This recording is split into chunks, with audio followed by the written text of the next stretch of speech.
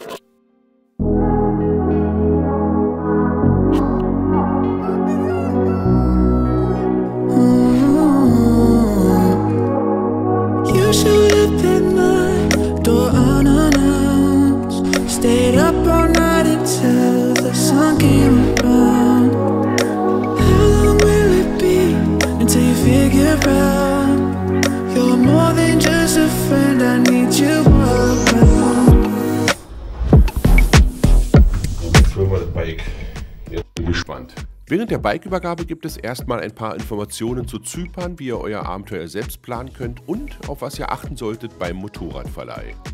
Zypern ist ein Staat auf der gleichnamigen Insel im östlichen Mittelmeer. Die Flugzeit ab Berlin beträgt ca. 3,5 Stunden. 1974 wurde der Norden der Insel im Zypern-Konflikt von der Türkei besetzt und 1983 wurde im Besatzungsgebiet einseitig die türkische Republik Nordzypern ausgerufen. Von den Vereinten Nationen wird die türkische Republik Nordzypern nicht anerkannt. Seit 2004 ist Zypern Mitglied der Europäischen Union, aber nur der südliche Teil. Seit 2008 gibt es den Euro, was natürlich beim Reisen vieles vereinfacht. Größtenteils könnt ihr überall auch bargeldlos zahlen. Einreise ist mit dem Reise- oder Personalausweis möglich. In Zypern herrscht Linksverkehr. Mehr Informationen über Zypern, Einreisebestimmungen und zur Sicherheit bekommt ihr wie auch immer beim Auswärtigen Amt. Das Klima auf Zypern ist typisch mediterran, sehr sonnig und trocken. Im Hochsommer klettern die Temperaturen auf 30 bis 35 Grad. Im April während meiner Tour hatte ich Sonnenschein und um die 20 bis 25 Grad. Meiner Meinung nach ist Ostern perfektes Motorradwetter auf Zypern. Der eine oder andere wird sich auch fragen, warum fährt er auf Zypern und nicht nach Gran Canaria, Sardinien oder Korsika? Ganz einfach, wirf mal mit mir zusammen einen Blick auf die von mir konzipierten GPX-Dateien. Hier ein Beispiel der heutigen Tour. Ich habe sie in Kalimoto geladen und vielleicht fällt euch ja was auf. Kurven über Kurven. Kalimoto zeigt einen Kurvenwert von 186 an. An diesen Wert heran kommt kaum eine andere Gegend auf dieser Welt. Das bedeutet zugleich, in diesen GPX-Dateien, die ihr wie auch meine anderen GPX-Dateien für einen kleinen Unkostenbeitrag auf meiner Webseite herunterladen könnt, habt ihr einige der kurvenreichsten Strecken der Welt. Meine heutige Tour wird komplett On-Road sein. Morgen plane ich Offroad im Akamas Nationalpark zu fahren. Ein absolutes Eldorado für Offroad-Enthusiasten, aber das seht ihr in der zweiten Folge. Das Bike habe ich im Voraus auf der Webseite bikesbooking.com gemietet und für zwei volle Tage inklusive Lieferung und Abholung in Summe 127,50 bezahlt. Bezahlt kann ganz entspannt per Kreditkarte oder EC-Karte. Aufgrund des teils schwierigen Terrains des Akamas Nationalparks habe ich mich für ein leichtes Bike entschieden. Natürlich bekommt ihr auch andere Motorräder. Es gilt auch zu beachten, dass länderübergreifendes Fahren im Mietvertrag leider ausgeschlossen ist.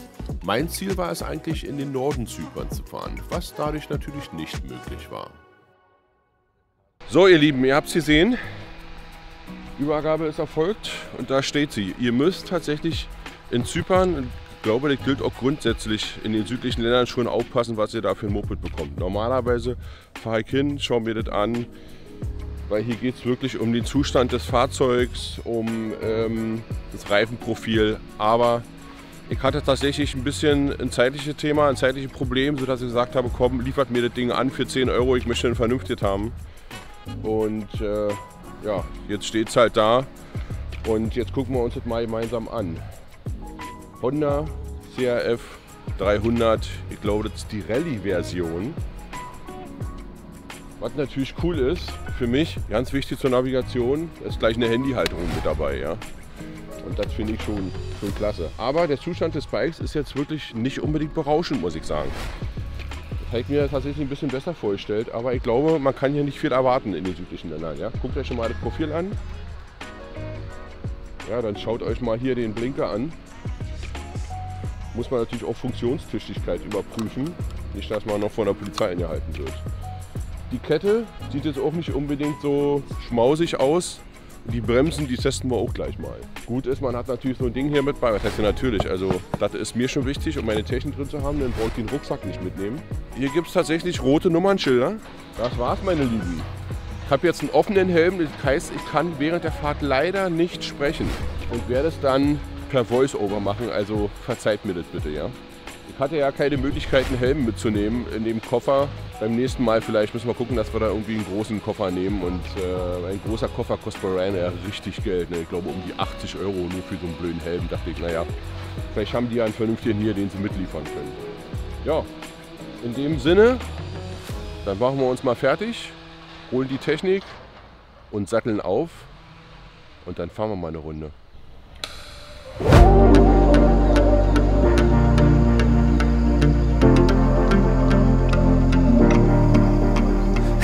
It's amazing the subtle games that you are playing. And you don't even know I exist. You have got me on your. Fühlt sich schon mal gut an, der zweite Gang geht erstmal schon ganz gut drin. Hey, you're good spatting. Girl, you are sexual and bad. And now you got this on your conscience. Geil. Das ist natürlich ein Spielzeug, ne? Das ist ein Spielzeug. So muss es sein. So macht es Spaß. Huch. Scheiße. Meinen Handschuh verloren.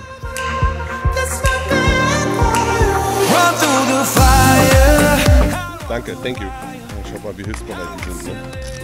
Also, ich habe meinen Handschuh verloren. Kann passieren, weil ich auf den Tank gelegt habe. Ich habe die Handschuhe anzuziehen. Geil. Linksverkehr. Darf man nicht vergessen. Ich habe es eben schon vergessen. Ich bin auf der falschen Seite gefahren. ja, das ist so. Es ist wirklich so. Wenn du das nicht kennst, du bist das nicht gewohnt. Man muss es einfach so sagen, ja. Ja, du erschreckst dich halt, wenn ein Auto von vorne kommt, ne? Wunderst dich. Das ist Freiheit, meine Lieben. The light. There are people watching us, wishing they were obvious. Instead of giving in to the fright, the fright.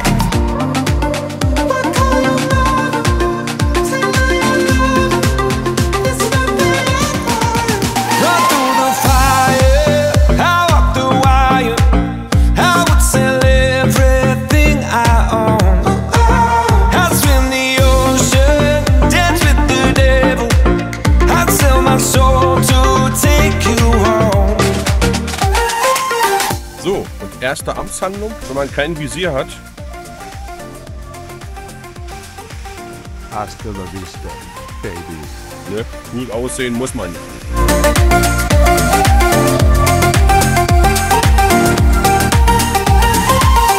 One heart to survive when one just breaks. One slow suicide while one just takes and takes. One choice for the good of you, but not the one you make. Alle, die den Orangenbaum nicht kennen, da ist er. Guck mal, die Stange. Kann man oben machen, wa? Kann man machen. Habt ihr die Stange gesehen? Listening, we can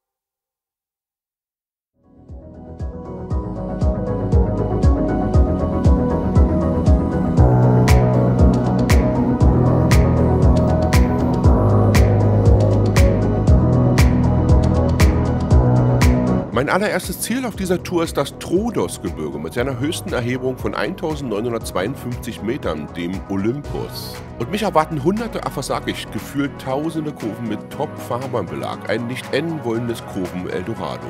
Hier habt ihr einen optischen Eindruck der Straßen in Kalimoto. Unter uns, das ist wirklich krass. Und das habe ich so auch am eigenen Leib gespürt.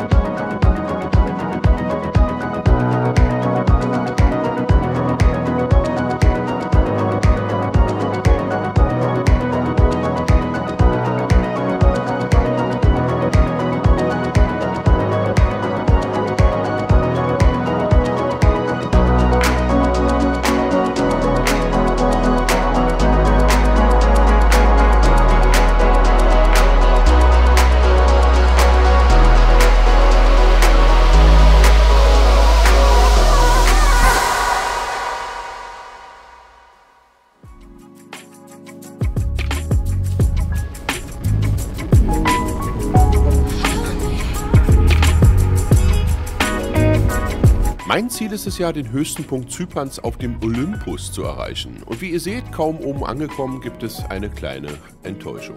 Haben wir es. Military. Military.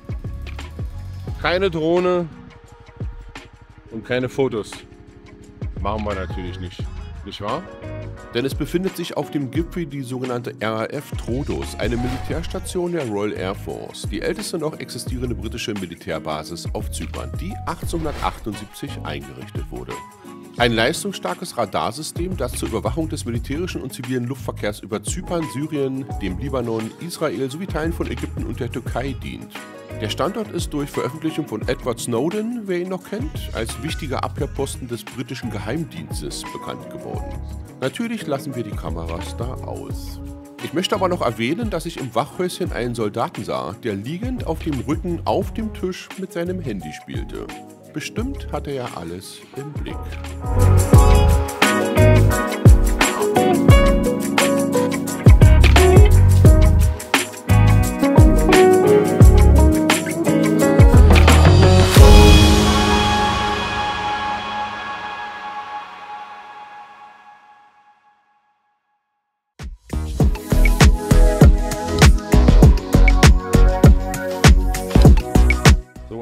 Wunderbares Plätzchen habe ich gefunden. Auf circa, na, jetzt müssten wir um die 1700 Meter sein.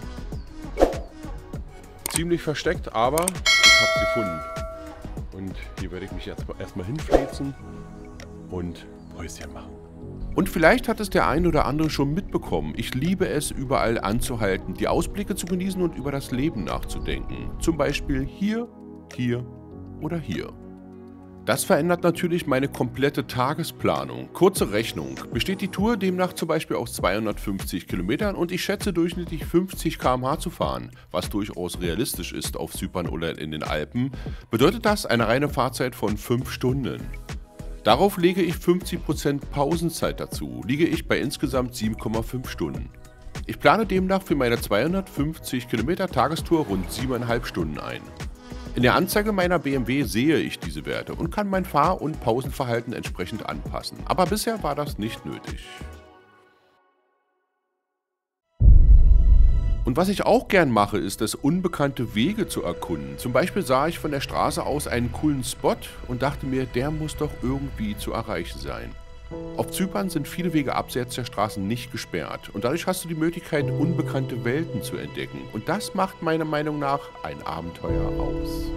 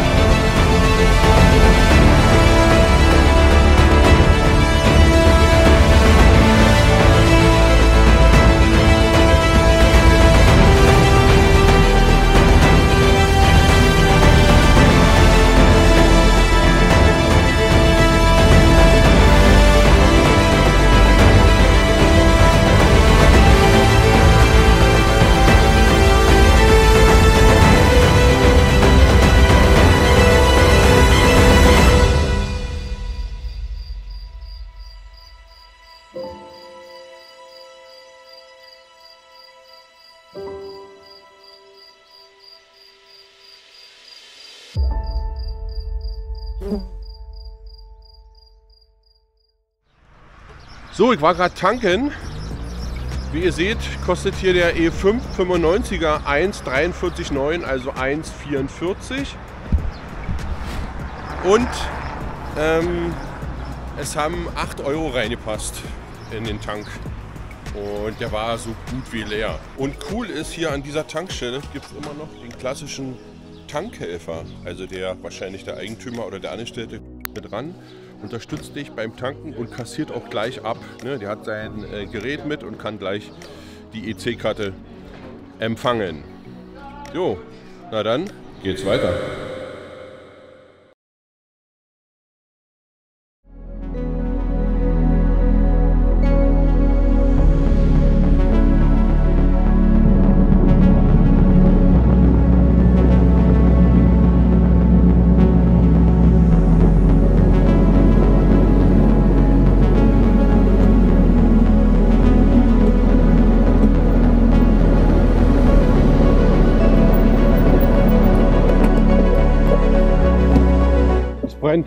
Scheiße. Scheiße. Also mit sowas müsst ihr immer rechnen im Sommer in Griechenland und auf Zypern, dass es eben diese Brände gibt. So, ich fahre jetzt mal ins nächste Dorf und sage da Bescheid. Ich bin da nicht ins nächste Dorf gefahren, sondern habe mehrere Autos angehalten und darum gebeten, die Feuerwehr zu informieren, die dann auch gut zehn Minuten später kam. So, ihr Lieben, der hat sich das jetzt angeguckt. Wir haben uns Englisch unterhalten.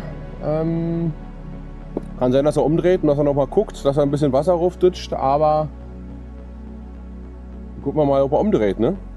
Also letztendlich bin ich dann losgefahren und da an den Nachrichten nicht zu hören war, zwecks Großbrand auf Zypern, gehe ich davon aus, mit meiner Heldentat die Welt gerettet zu haben. Ihr wisst ja, jeden Tag eine gute Tat.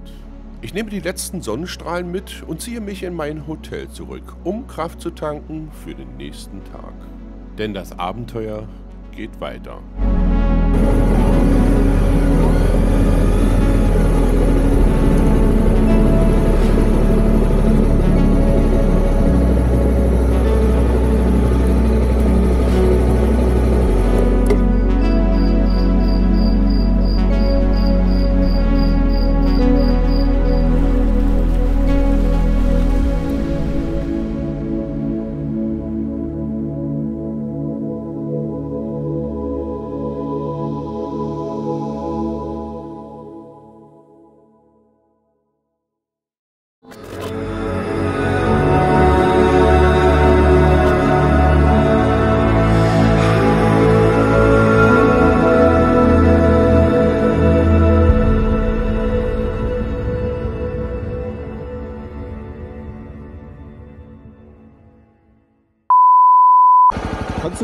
Sagen, was das für ein Tier ist? Keine Ahnung. Sag's mir einfach. Oh Gott, ist die lahm arschig. Wie viel PS hat die? 27? Also, es- reicht. Ich würde sagen, es reicht, aber muss eh nur auf Bikermacher, brauchst du nicht machen, ne?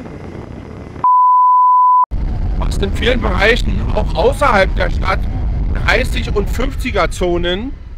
Und es gibt immer wieder diese Poller, ja, wo du immer wieder zack, bumm, huh, huh, wo du immer wieder daran gehindert wirst, schneller zu fahren. Blitzer habe ich jetzt tatsächlich noch nicht gesehen. Es kann gut möglich sein, dass die versteckt sind. Aber dadurch, dass ich ja immer vorstellen, bin ich fahre nicht wahr, meine lieben Freunde. Ja. So, dann gehen wir mal wieder Gas machen. In manchen Orten gibt es solche, ich sag mal, Trinkbrunnen. Dort hast du die Möglichkeit, hier den Hahn zu öffnen. Und dann springt wahrscheinlich unten irgendwo die Pumpe an. Und hier kannst du dich mit Wasser stärken. So, jetzt sind wir mitten im Todesgebirge und ich weiß nicht, ob man es sieht. Da unten sind die unter anderem Offroad-Strecken, die du hier fahren kannst. Völlig legal. Oben, siehst du, ich fahre schon wieder auf der falschen Seite. Aus Gewohnheit. Was soll ich sagen? Ist nicht so einfach. Wenn man es immer so gewohnt ist. Ja, ich muss einfach sagen, Das ist wirklich verrückt hier. Kommst nicht mehr aus den Kurven raus, ne? Kommst nicht mehr raus. Irre, wirklich irre.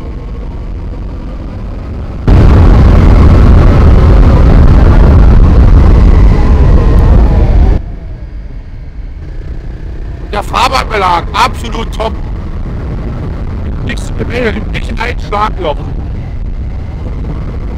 Nicht ein Auto hier, und gerade da war eins, aber sonst die ganze Zeit hier extrem wenig Verkehr. Wir haben es jetzt Viertel nach vier, für Ossis Viertel fünf. Und dann selber aussieht. Und es ist total leer, ja.